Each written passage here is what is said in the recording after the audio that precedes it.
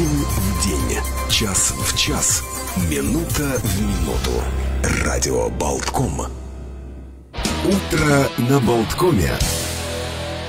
Мне кажется, ни одного гостя мы так не рекламировали. Вот все утро ты рассказываешь буквально, разогреваешь публику, подогретую просто вот мы публику сейчас вот выплескиваем эм, э, тему. Действительно, мы говорили о том, что продолжается вакцинация в нашей стране, и очереди там стоят, но тем не менее вот дошла э, э, очередь сейчас до детей, до детей, подростков. И, собственно говоря, вот начинается вакцинация сегодня. Э, много вопросов сразу возникает, и с этими вопросами мы хотим обратиться к представителю отдела вакцинации Национальной службы здоровья, к Никите Троянскому. Здравствуйте, доброе утро. Доброе утро. Здравствуйте. Итак, сегодня э, в Латвии начинается вакцинация подростков 12-15 лет. Вакцина Pfizer BioNTech. А по статистическим данным в Латвии насчитывается чуть более 82 тысяч э, таких подростков. Э, а дальше следуют наши вопросы. Ну, например, что будет с детьми до 12 лет и э, почему выделена именно эта возрастная группа и чем важно с точки зрения, может быть, э, социального даже здоровья, общественного здоровья э, вакцинировать именно эту группу? Именно эта группа выделена, потому что совет педиатров при компании Pfizer, собственно, разработал исследование, э, которое включало именно детей в возрасте от 12-15 лет, чтобы проверить эффективность и надежность э, и безопасность вакцин именно в этой группе. Э, соответственно, я не знаю, проводят ли сейчас другие производители подобные исследования в той же группе, но это исключительно вопрос того, есть у нас данные о безопасности и эффективности в этой группе или нет? Теперь по поводу Pfizer есть. Мы видим, что вакцина в этой группе э, также эффективна, э, как и в группе от 18 до 25 лет. Они провели такое простое испытание, где выбрали 2000 людей в возрасте от 12 до 15 и увидели, что та тысяча, которая получила настоящую вакцину, э, из них ни один человек не заболел э, легкой или более сложной форме э, коронавирусным заболеванием, а в той группе, где дети получали плацебо, 16 детей заболели. То есть стопроцентная эффективность. Но понятное дело, что все-таки 2000 это не так много детей. Может быть эффективность на самом деле э, в районе 80%, если была бы, если бы мы увеличивали э, количество задействованных детей. А, идут разговоры о том, а, что... Зрения, а, а, да. Да-да-да, да. Я хотел сказать а, по поводу а, того важности этого для общественного здоровья, да. но угу. мы очень много фокусируемся на э, этом понятии коллективного тета. И, конечно, ну, дети здесь так же важны, как и взрослые, потому что ну, дети тоже часть социума, и на самом деле дети чуть более активные, чем взрослые с точки зрения количества их ежедневных контактов. И школа — это известный рассадник инфекционных заболеваний.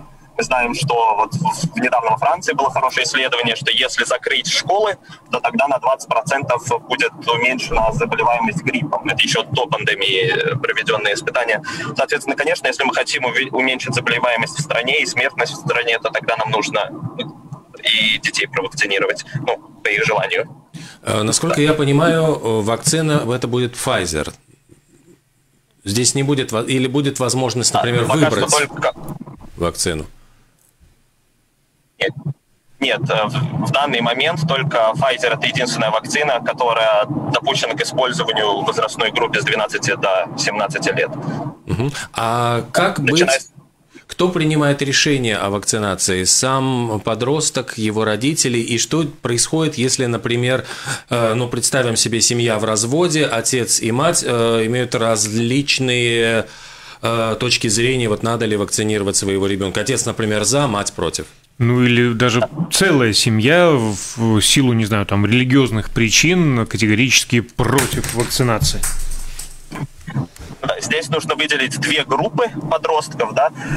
Первая группа – это дети в возрасте от 12 до 13 лет, и они еще не имеют э, права принимать решения о своем лечении самостоятельно. Да? В их случае как записывать на вакцинацию может только родитель или законный представитель, то есть опекун в том числе. И э, законный представитель ребенка должен находиться во время вакцинации, а в свою очередь в возрасте после начиная с 15 лет, нет, 14 лет, согласно закону о правах пациента, дети уже могут сами, сами принимать решение о своем лечении, и тут уже не обязательно э, разрешение родителя. Они могут сами как записаться, так и провакцинироваться. А, ну да, что касается ситуации, если у нас такие будут, где один родитель хочет, другой нет, то ну, это больше вопрос к юристам, но в принципе хватает разрешения одного родителя, угу. э, чтобы ребенок получил вакцину. А, усложним задачу. А, те, кто а, воспитываются в детских домах, вот сироты, как быть с ними, да, да сироты? Кто считается их опекуном? Руководитель этого а, учреждения или кто-то иной? Э, ну да, как я понимаю, э, это именно руководство детского дома или ну, так называемых центров длительного ухода за детьми. Угу. В таких случаях, если переданы полномочия им, то тогда да, именно руководитель центра может связаться с медучреждением и попросить медучреждение приехать на место и вакцинировать детей. А, есть еще такой вопрос. Начинается выдача различных вот этих QR-кодов, а, вводится зеленый электронный сертификат, тот самый ковид-паспорт. А, что касается детей и подростков, 1 сентября какая ситуация сложится? Если ты вакцинирован, ты можешь идти в школу, садиться за парту, а остальные на удаленке учатся? Или как будут детей делить, сортировать? Это вопрос уже к кабинету министров. Решение э, по этому поводу не принято. Я даже не слышал, чтобы были какие-то дискуссии о том, будут QR-коды каким-то образом браться во внимание или нет. Э, это, я думаю, мы увидим летом. Я не знаю. Ну... Мы только видим, что сейчас, насколько я знаю, один университет в Латвии, Страдани, принял какое-то решение, что они к лекциям очно будут допускать только людей, которые могут подтвердить то, что они либо иммунны, либо у них нету ковида, то есть они сдали тест. Ну хорошо, а ваш взгляд, ваше мнение как профессионала, стоит ли тоже детей подобным образом поделить? Как вот в приведенном вами примере страдания?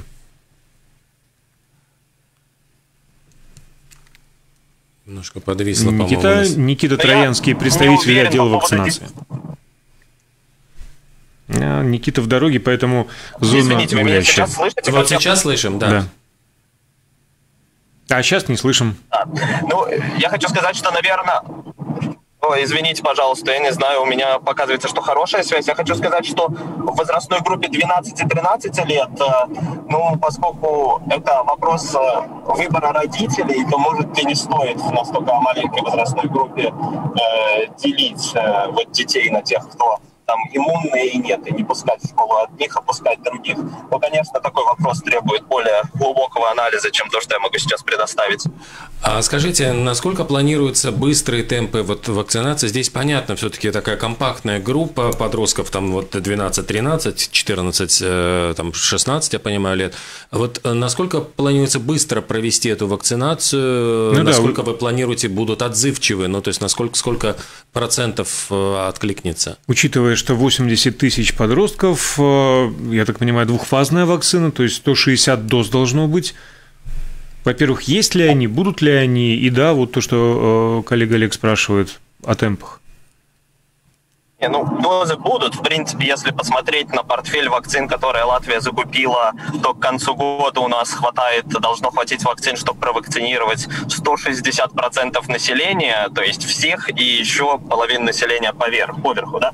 Но то, что мы сейчас видим, среди детей активность э, достаточно высокая, потому что уже две недели есть возможность у 16 и 17-летних подростков э, вакцинироваться, и 10% уже из них за всего две недели э, получили вакцину вакцины, то есть 3,5 тысячи из 36 тысяч людей в данной возрастной группе.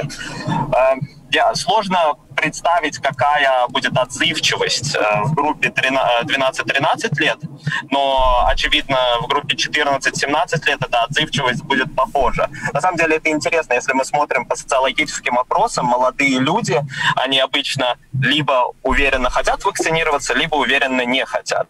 У них нет этой серой зоны, где им нужно еще подумать, да, это уже больше люди старше 30, они многие находятся в серой зоне, где они не уверены.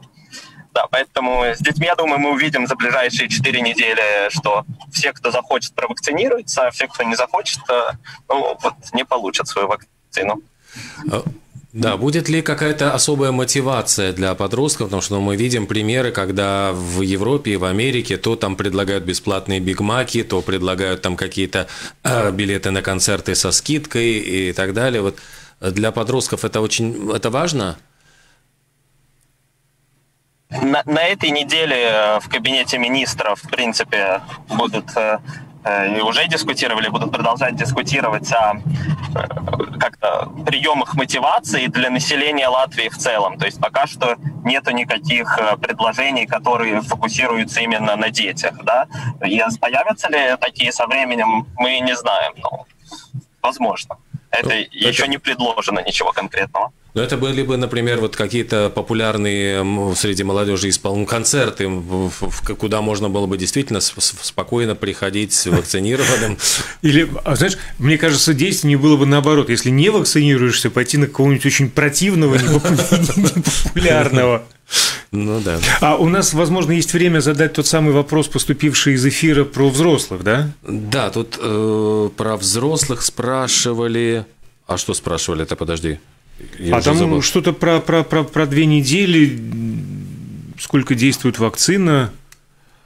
Э, нет, он волновался человек, что хватит ли вакцины AstraZeneca, вот то, что а. он получил первую вакцину, вторую, по-моему, он еще вторую не получил. Ясно. И переживал из-за того, что хватит ли для него э, вакцин, и кто ему будет э, напоминать о времени, когда ему нужно прийти вакцинироваться во второй раз. Вот я понял, мне показалось, вот это волновало человека.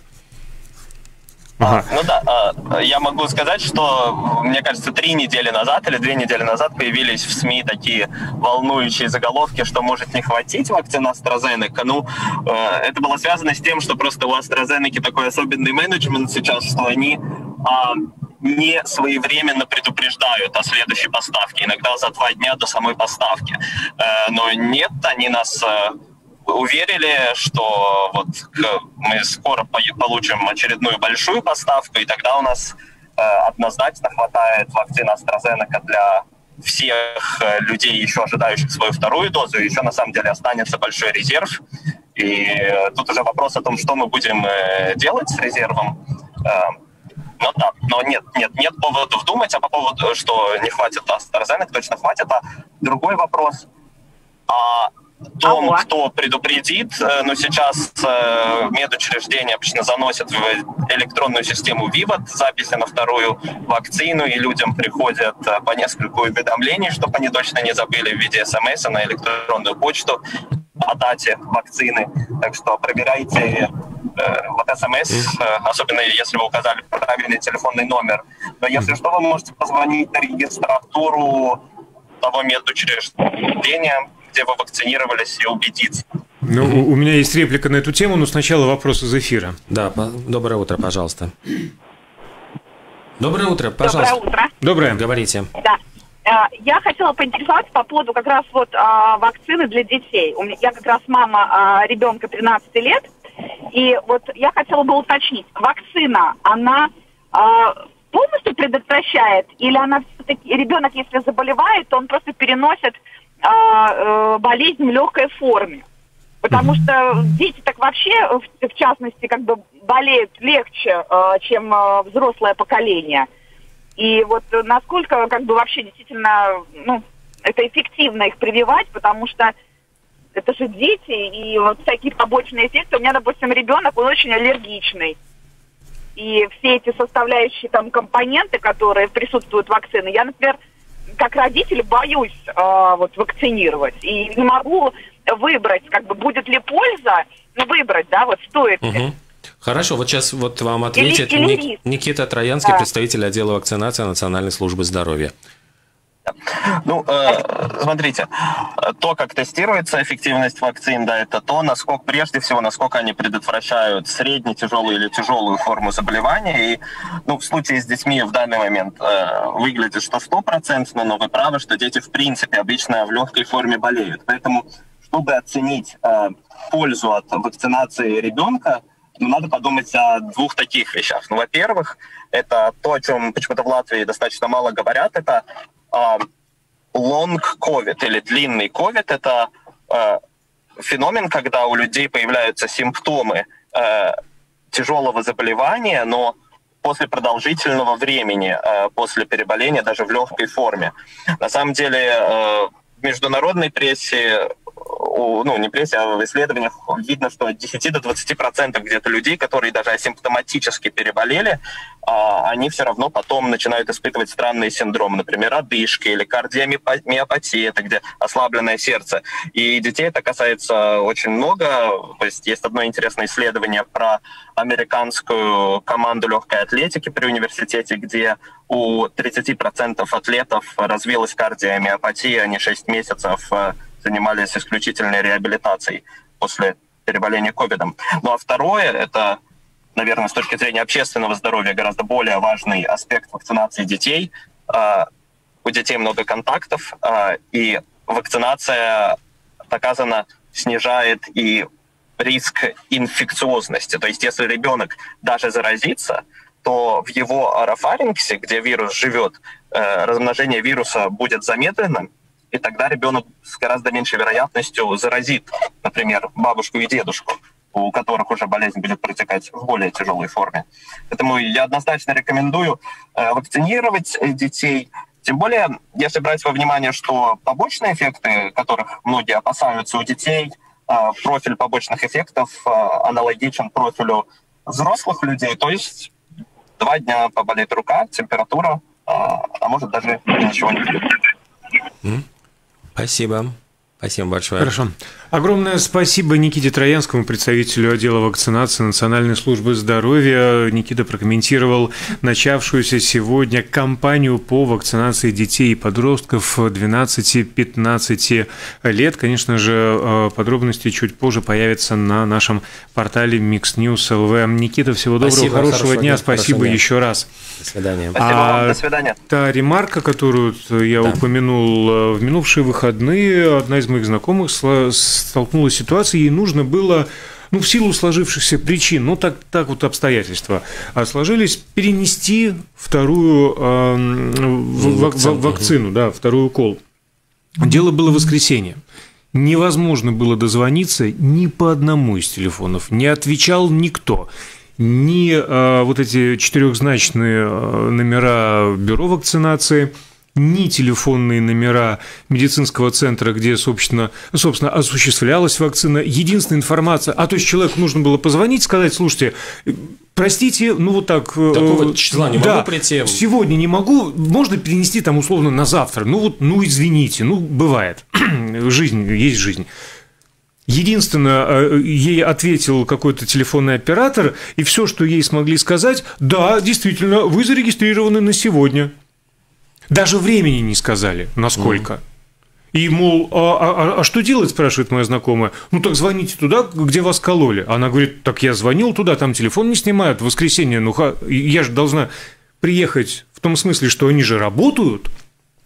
Ну, вот, не знаю, не знаю, говорит оператор, запишите номер телефона. Номер телефона отличался на одну, на последнюю цифру, а, чем тот э, телефон, на который моя знакомая звонила. Набрав эту комбинацию из восьми волшебных цифр, она услышала, что такого номера не существует вообще в принципе. Ну, то есть, вот позвонить и сказать, ребята, не могу сегодня прийти или там еще а, получить какую-то справку или уточнение совершенно невозможно. Хотя, по сути, они должны работать, но если не круглосуточно, то каждый день точно, учитывая, что вакцинация происходит ежедневно. Ну, может, это был просто единичный случай. Может быть, моей знакомой не повезло. Я не склонен делать э, выводы во вселенских масштабах, но тем не менее, вот такая ситуация достаточно неприятная сложилась. Ну, а что... А что касается да. нашего дальнейшего эфира, то впереди программа «Подоплека». Спасибо большое. Сегодняшний утренний эфир для вас провели э, Александр Шунин и Олег, Олег Пека. Радио Болткома.